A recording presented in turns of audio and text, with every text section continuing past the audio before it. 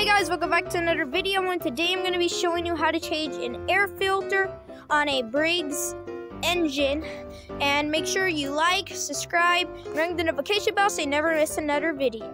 Let's get into it. This is on a John Deere 100 series Briggs engine.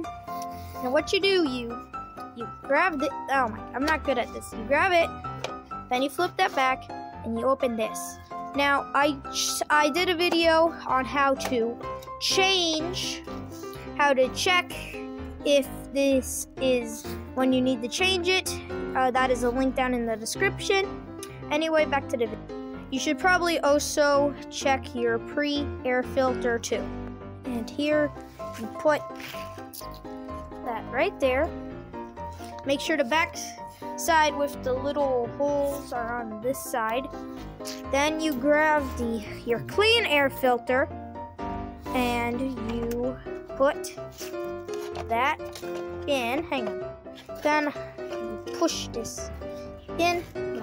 I'll get back to you guys when I get there we go and then you can just put that back and you're done. Thank you guys for watching. I hope you enjoyed. And now the chicken of the